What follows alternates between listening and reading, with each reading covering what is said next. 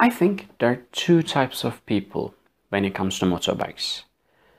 There's the kind of people who, upon hearing this that annoying loud sounds of a motorcycle going miles away, but you can still hear it like it's here, and they go, "Ooh, look, look! It's this is the the sound from the eh, the, the ECC engine, and it it can go up to kilometers, and it's oh, it's awesome."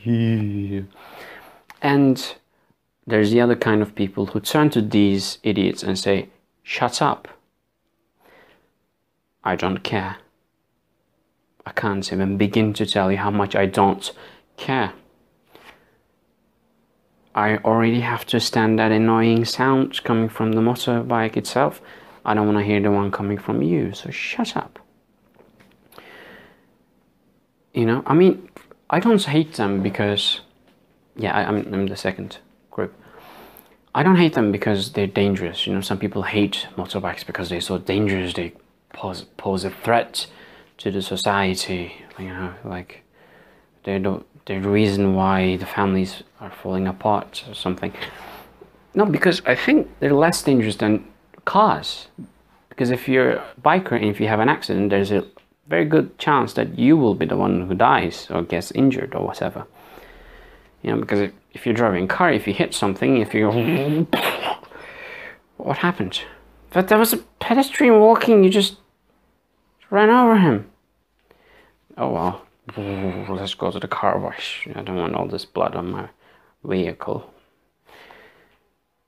You know, but if you're a motorbike, if you hit something, you'll fall yourself. That's an idiotic thing to do. There are people, people can be reckless in anything, you know, like if you're a reckless motorbike driver, rider, whatever, you might you might hurt other people as well as yourself. But if you're reckless, you can hurt someone with you know with a needle that you find in the floor.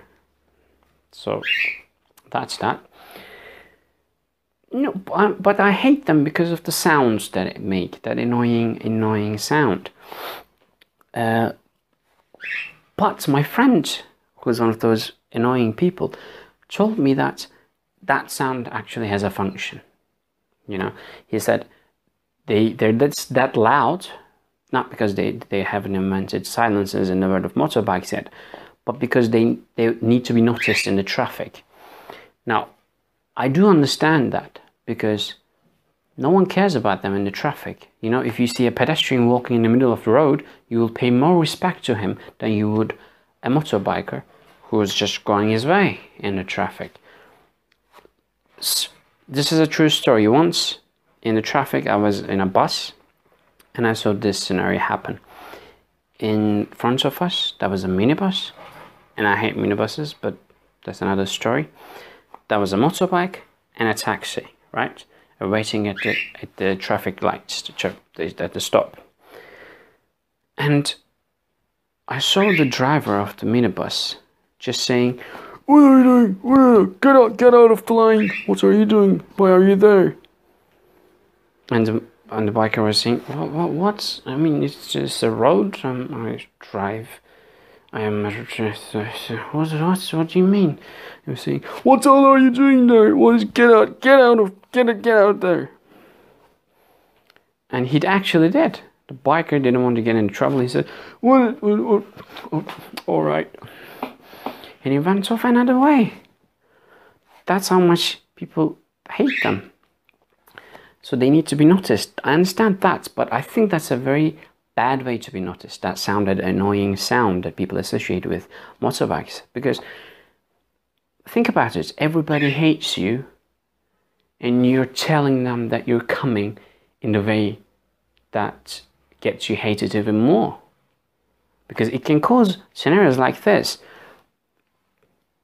did you hear that? Did you hear that? Oh yeah, yeah, yeah. Can't be mistaken. That's a 200cc motorbike coming. What did you just say? No, no, it's just it's a motorbike. I, I hate them. I hate them so much. Okay, I think it's coming from the left. Ready? Okay. On count of three. One, two, three. Open the door. Get him. Get him. Get. Kill him. Bastard.